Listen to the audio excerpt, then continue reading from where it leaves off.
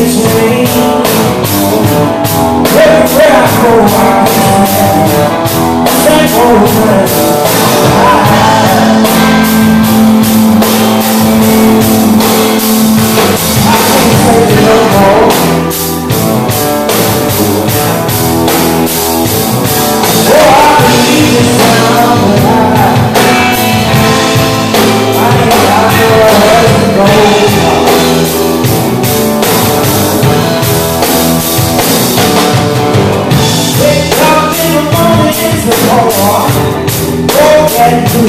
Know